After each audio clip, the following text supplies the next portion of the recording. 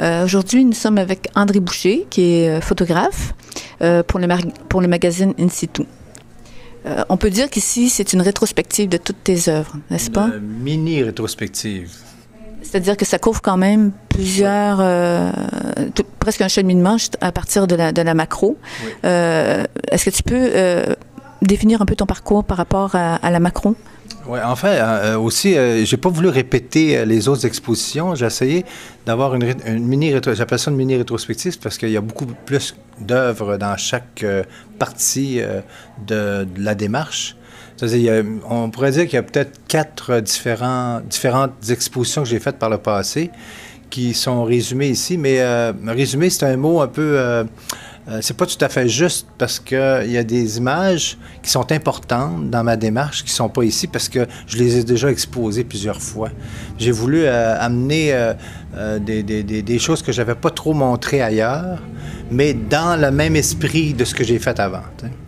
Si on se promène dans la galerie, on peut voir vraiment une évolution dans la photographie. Donc, au début, c'était, euh, tu photographiais des murs euh, euh, avec un appareil en faisant une macro photo. D'où est venue cette idée-là? Ah oui, c'est pas tout à fait. c'est un peu comme tu dis, mais il y a une nuance. C'est que ça c'est un concours de circonstances qui a fait que je me suis engagé dans ce dans, cet esprit de l'art contemporain de la photographie parce qu'auparavant, je faisais du euh, photojournalisme puis du documentaire social. Euh, je suis très, très, très euh, impliqué dans ce domaine-là. D'ailleurs, j'ai travaillé dans les années 70, les belles années du Québec, là, où tout était effervescence politique, culturelle. Dans les années 70, je travaillais au Soleil à Québec. de 74, j'ai commencé avec la super francophète. J'ai terminé par la mort de John Lennon. Euh, fait que c'est un bloc. D'ailleurs, quand j'ai terminé, on voyait euh, sur les, euh, à New York, j'étais là aux 10 minutes de silence de Yoko. Et puis il disait The dream is over. Fait que c'est comme les Beatles, c'est terminé. Là. Ils ne pourront plus jamais. C'est fini. mais en même temps, il y avait une période aussi. il y avait un rêve qui, venait de, se terminer. Euh, le rêve d'avoir un pays, le rêve, euh, il y avait quelque chose de, tout était démobilisé. Fait tous les, artistes qui chantaient le pays, euh, maintenant, ils ne savaient plus trop trop quoi faire. moi, quand je montrais mes photos de toute cette période-là, des photos de René Lévesque, de, de, Félix Settler et compagnie, puis des gens ordinaires, y avait, on sentait l'effervescence aussi. Puis l'exaltation. Mais là, c'était terminé, là. Fait que les gens ne voulaient plus voir ça.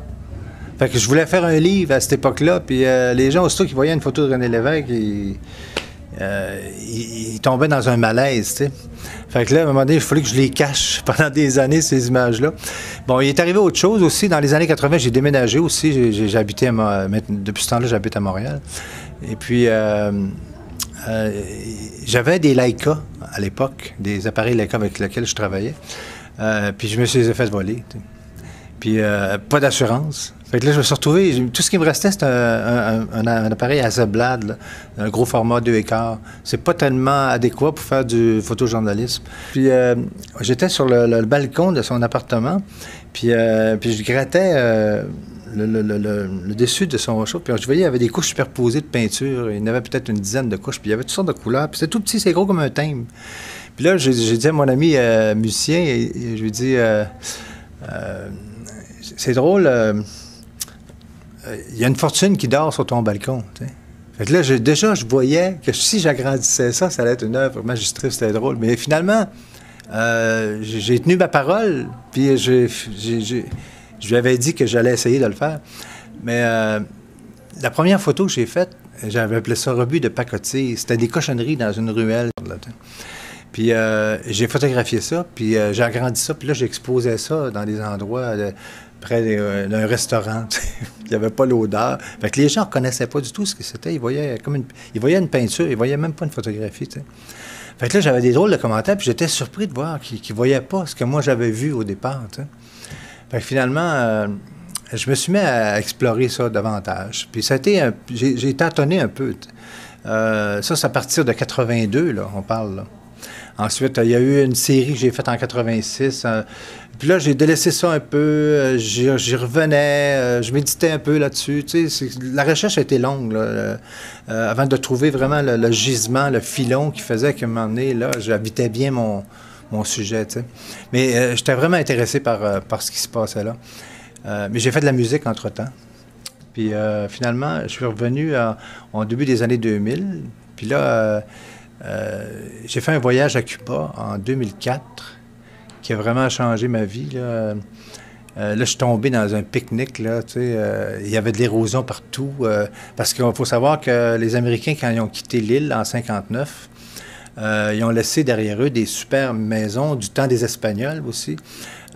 qui, puis là, maintenant, c'était rendu des dizaines de familles qui habitaient une maison qui auparavant logeait une famille de cinq ou six. Ils n'ont pas l'argent pour les rénover, avec l'embargo et tout ça. Bon, euh, euh, ils ont eu des problèmes économiques. Mais euh, toutes ces belles maisons-là, pas de peinture, pas d'argent pour les rénover, fait que le temps, l'érosion a façonné ce que moi je cherchais depuis longtemps, alors, c'est des couleurs incroyables, des textures. Là, je me suis promené dans la ville, partout. Puis c'était vraiment incroyable, tout ce que j'ai découvert. Ça a donné quelle série? Épreuve du temps. C'est ça. Puis là, j'ai publié un livre en 2008 qui s'appelle L'épreuve du temps, qui est traduit en cinq langues, c'est-à-dire dans la même édition. Là, ça s'appelle comment? Euh, Imprints of Time, il y a Impresiones del Tiempo en espagnol. C'est euh, avec quelle euh, maison d'édition? Carte blanche est distribuée par Fidesz. Épreuve du temps. Et puis, je suis très content d'ailleurs, la presse, il y avait un comité de lecture de la presse en 2008, puis disant que c'était un des, un des, plus beaux livres en art contemporain qui avait été fait en 2008. Alors, j'étais très heureux du résultat. Puis, par la suite, après épreuve du temps, tu es arrivé à une autre forme de, de photographie? Ben, à un moment donné, l'érosion, euh, euh, c'est intéressant, puis je, m'intéresse toujours à ce thème-là. Euh, maintenant, j'ai exploré d'autres textures. J'ai fait un voyage en Asie en, en 2008 et en 2009. Et j'ai rencontré un, un, endroit qui, exposait des sculptures de Bouddha. Euh, ça s'appelle Damson Park à Saigon, euh, maintenant qui est Ho Chi Minh City. Euh, c'est un, une espèce d'immense entrepôt réfrigéré où il y a à peu près une vingtaine de sculptures de Bouddha, mais immense, là, 15 pieds de haut, de 12 à 15 pieds de haut. Donc, ils sont faits en glace sont toutes faits en glace, c'est ça. Puis moi, je me suis intéressé pas aux sculptures en tant que telles, à l'œuvre me suis intéressé à la matière, à la glace. Puis il y avait des lumières de toutes sortes de couleurs. Puis même à certains endroits, quand tu regardes de près la glace, il y a une étude à faire là-dessus. C'est très, intéressant parce que euh, ça fait comme des prismes à un moment donné. Puis là, il y a une décomposition de la lumière blanche en toutes sortes de couleurs arc-en-ciel. Puis le moindrement que tu te déplaces, euh, il se passe quelque chose. Fait que moi, je me suis intéressé vraiment à la macro, euh, de la texture de la glace, les empreintes du, frost, la, diffraction, la réfraction, la réflexion. Euh, c'est vraiment intéressant. Puis rendu à la maison, à un moment donné, je voulais faire des mosaïques. Puis il y a un ami qui m'a dit Pourquoi tu n'essayes pas de faire un flip horizontal, c'est-à-dire un effet miroir, comme Urtubis faisait, puis comme les peintres aussi. Il y avait des anamorphoses. J'avais vu ça dans un musée à Frankfurt à un moment donné. Euh, avec des cylindres euh, en miroir, des, des, des, toiles euh, abstraites. Des, effets de profondeur. C'est ça. Puis là, tu voyais un cavalier quand tu te promenais autour du miroir. il y avait quelque chose de, concret, de figuratif qui apparaissait de, l'abstraction. Puis, puis, en faisant ça, c'est qu'à un moment donné, il y, a un, il y, a un, effet de stabilité, bien entendu. Avec les personnages sacrés, qui étaient soit des animaux sacrés ou des personnages qui appartenaient à la mythologie, même vietnamienne, c'est ça qui était le plus étrange, là asiatique parce que c'était pendant la fête du Tête. Puis il y avait des manifestations de, personnages fondateurs mythiques vietnamiens, puis euh, qui ressemblaient, les masques, qui ressemblaient beaucoup aux personnages qui apparaissaient à la suite de, l'effet euh, de, miroir euh, sur l'abstraction originale. Donc, si, on peut donner quelque chose de concret, on peut parler de, l'œuvre qu'on a en face de nous, qui s'appelle Illumination. Là, je leur donne des numéros parce qu'à un moment donné, j'ai toute une série Illumination. Fait que je leur donne des suites, euh, euh, numéro 16, 12. euh, je leur donne différents numéros. Donc, euh, on voit beaucoup de teintes de jaune, de bleu, de rose, de mauve. C'est euh, en fait les, les couleurs de l'arc-en-ciel. Oui, c'est ça. Mais en même temps, euh, j'en ai d'autres que j'ai fait. Puis il y a d'autres sortes de couleurs, dépendamment de la lumière et, des- et du prisme, de l'ambiance. Mais euh, ce que je trouvais intéressant aussi, c'est qu'en faisant l'effet miroir, parce que c'est pas tous des effets miroirs, j'ai gardé l'abstraction pure euh, pour euh, la moitié des œuvres. Les autres, j'ai trouvé ça tout à fait adéquat parce que ce qui ressortait, c'était d'autres personnages en état d'illumination, en état de méditation, comme les gros Bouddhas originels. Fait que là, je retombais encore dans le, dans- dans- finalement dans le thème euh, originel, euh, Ce qui est le plus petit est caché dans ce qui est le plus grand. oui, oui, c'est ça, le microcosme, le macrocosme. Fait que finalement, j'en sortais pas, là, j'étais toujours là-dedans. Puis moi, je, je passais des, des heures et des heures, ça, ça, c'était long, euh, monter tout ça. J'étais sur l'écran d'ordinateur, puis j'étais en train de toujours euh, fixer ça, puis... À un moment donné, je venais comme complètement... en tout cas, j'oubliais tous tous les, les problèmes du quotidien, là. C'était apaisant aussi, c'est très apaisant. Ce qui était incroyable, c'est que quand on regarde l'œuvre, on voit le personnage qui se détache. absolument. Puis c'est- c'est c'est- c'est presque du hasard, mais en même temps, c'est euh, il se présente à nous tel quel. vraiment du hasard? C'est ça la question. Hein? Est-ce que, c'est est-ce que le hasard existe? Parce qu'à un moment donné, quand tu finis par faire les liens, parce que c'est ça qu'on fait, finalement, les prises de conscience qu'on fait au fur et à mesure qu'une œuvre s'enrichit de, différents commentaires, il y a d'autres liens qui se font. D'ailleurs, une fois que les œuvres sont sur euh, euh, les murs euh, des galeries, puis j'ai les, commentaires des gens, leurs commentaires enrichissent l'œuvre. Puis elle m'appartient pas, là, rendu là. là, à un moment donné, c'est- ça n'est plus ma photo. tu sais. Il y a une autre euh, sorte de, de- de photographie, euh, je pense c'est tubulaire. Oui, ça c'est euh, une série. Ah oui, il y a eu l'érosion. Ça c'est la glace. Et puis euh, la série euh, tubulaire, là, ça c'était la première fois. Bon, il y a eu l'altération de l'effet miroir. Parce que moi, j'intervenais pas. Je, te- je- je vous l'ai dit au début, je viens de- du photojournalisme. C'est-à-dire un peu à la manière de Cartier-Bresson, euh, Douaneau, Donald McCarlin, qui était un photographe de guerre que j'avais rencontré d'ailleurs en 75. Puis, euh, alors, c'est euh, des photographes engagés des années 70, si vous voulez, là, Jane Smith, euh, tout, Robert Frank, Kappa.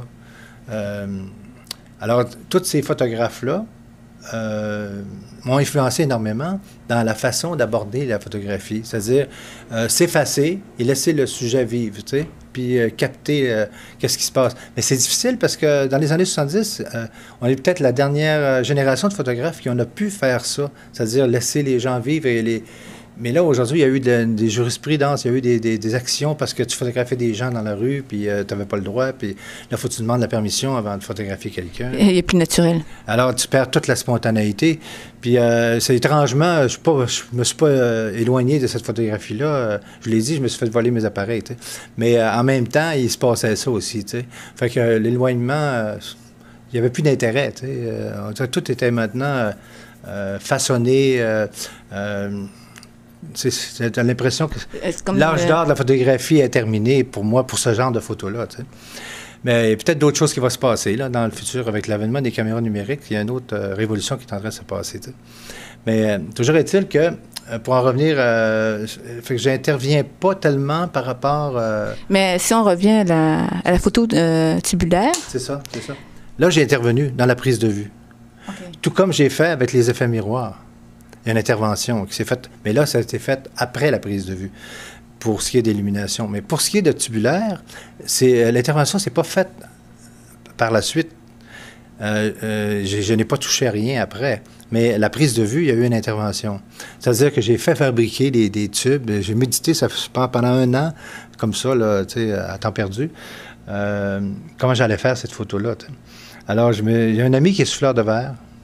Puis il travaille avec quelqu'un qui fait des néons. Alors, on s'est fait. euh, J'ai demandé de trouver euh, différentes grosseurs de néons, des petits, des, moyens, des gros. Et puis euh, là, je voulais remplir ces néons-là de liquide, de, différentes encres que j'ai mélangées. Alors, lui, il m'a bouché une extrémité, il a chauffé l'extrémité d'un tube. Puis là, il fallait rentrer le liquide. Puis parfois, c'était difficile parce qu'il y avait des bulles d'air. J'avais pensé avec une seringue rentrer euh, les encres. Je suis allé chez Dolorama, puis j'ai acheté des petits pots maçons. Puis je me suis fait à peu près 36 euh, euh, différentes couleurs, différentes teintes. Mais là, il fallait rentrer les couleurs là-dedans. Fait qu'on est allé chez son ami qui fait des néons, puis il y a une machine pour vider l'air. Fait qu'on a réussi à vider l'air du néon, puis à remplir le liquide avec le vide. Et là, ça, marchait bien. Puis là, on a bouché l'extrémité. Puis là, moi, j'ai installé ça euh, dans des, des, bacs de sel pour pouvoir les manipuler. Puis euh, j'ai utilisé euh, un flash de, de, 2500 watts. Puis là, j'ai joué avec la lumière avec ça. Puis euh, là, je vous explique toute la technique. Là, je vous donne le secret, la recette. Mais la prise de vue est importante. C'est encore le regard qui, fait moment donné, la composition fait que...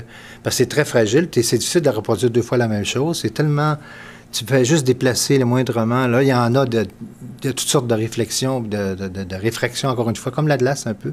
C'est d'expérimentation, en fin de compte. C'est d'expérimentation. Puis là, euh, je trouve ça intéressant parce que euh, là, c'est un autre monde. Hein, vraiment, il, y a des, il y a des personnes qui ont l'impression qu'à un moment donné, j'ai travaillé, j'ai tout fait ça sur ordinateur. Encore une autre illusion. Parce que ça n'a pas été fait sur ordinateur. C'était fait.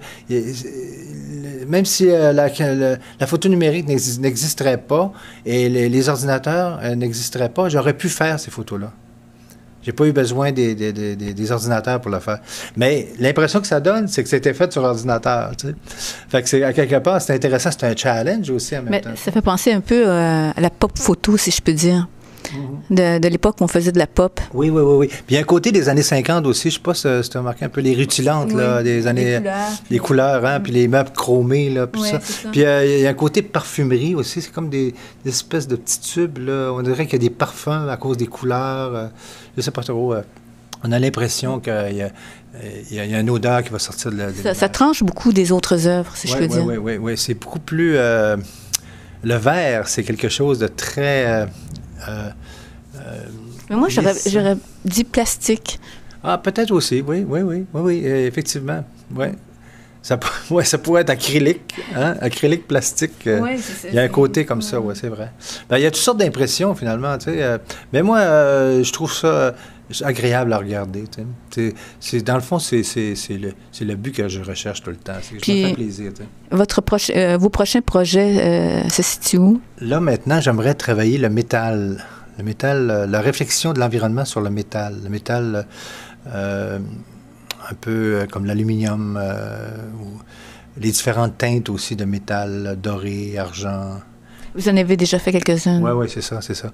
Il y en a quelques-unes dans l'exposition, là. Ça donne un peu le... Puis je veux retourner un peu aussi en jouant un peu, revenir au, palindrome, c'est-à-dire aux effets miroirs. J'aime beaucoup, pas toujours, mais parfois, j'aime beaucoup euh, un peu les deux. Tu sais. Euh, euh, je sais pas, il y a quelque chose d'intéressant sur les hémisphères. Tu sais, à un moment donné, une affaire en entraîne une autre. Puis on dirait qu'à un moment donné, j'étais en train de découvrir tout un monde qui, qui, En tout cas, il va y avoir... Mon ami Paul-Georges Leroux, avec lequel je travaille beaucoup, on a des conversations parce que ça nous inspire. Quand on voit une image comme ça, lui, il est inspiré...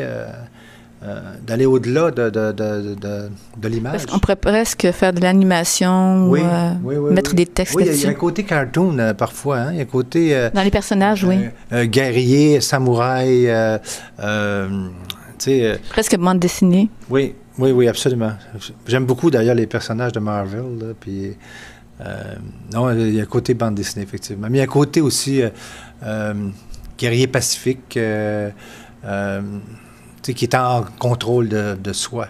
Et un côté populaire et mystique à la fois? Oui, oui, oui, absolument.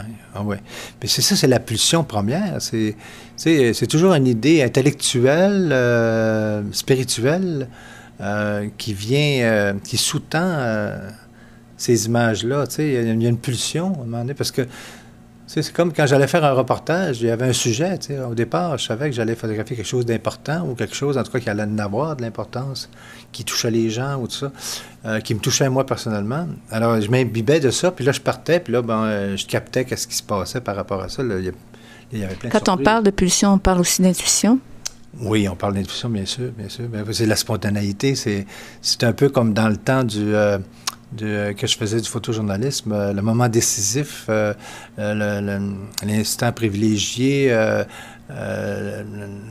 c'est-à-dire on est comme en transe à un moment donné quand on travaille comme ça. Quand on est face à un sujet, il y a tellement d'éléments qui rentrent en ligne de compte. Pourquoi qu'on on appuie sur le déclencheur à tel moment plutôt qu'à un autre? Parce qu'on sait, on sent venir l'image, en fait. On sent qu'il y a quelque chose. Il y a de l'exploration, il y a l'audace aussi. Puis euh, après, il y a un travail qui se fait par la suite de, regarder. C'est un peu comme les, peintres euh, automatistes. Je pensais à ça l'autre jour, justement. Euh, tu sais, où le geste spontané faisait ressortir le, subconscient, tu sais, par la suite. Tu sais, puis c'est toujours en mouvement, c'est jamais définitif, de toute façon, le résultat final. Euh, mais la photographie, euh, de la manière que je l'approche, en tout cas, est un peu comme ça. C'est-à-dire que je sais pas trop ce que je fais à un moment donné. C'est-à-dire que oui, euh, j'ai déjà une pulsion derrière, mais quand je le fais, je sais pas trop ce que je fais. J'oublie tout ça, là, puis à un moment donné, je me laisse guider par la, vie. C'est comme en musique, c'est un peu d'improvisation. Oui, oui, c'est ça. Oui, oui, absolument. C'est de l'improvisation. C'est-à-dire qu'il y a une préparation. Il y a des contraintes nécessaires. Il y a des choses qu'il faut faire. Il faut faire ses classes quand même. Puis après, euh, euh, il faut, faut, laisser la vie euh, couler en soi. Donc, si on veut venir voir vos œuvres, c'est jusqu'à quelle date? c'est jusqu'au 17 septembre. Et puis ici, en tout cas, Mireille Lamarre, qui est la directrice de, la galerie Bernard, et Lucie, j'ai eu un accueil absolument touchant. D'ailleurs, je trouve que la collaboration a été vraiment extraordinaire. Euh, j'aime beaucoup euh, ce qui se passe ici. C'est vraiment un endroit où on sent, on sent enveloppé, et on sent qu'il apprécie ce qu'on fait, puis euh, il nous donne tous les outils qu'on a besoin pour s'exprimer, exprimer qu'est-ce qu'on a fait. Ben, je vous remercie beaucoup pour cet entretien. C'est moi qui vous remercie. Au revoir. Au revoir.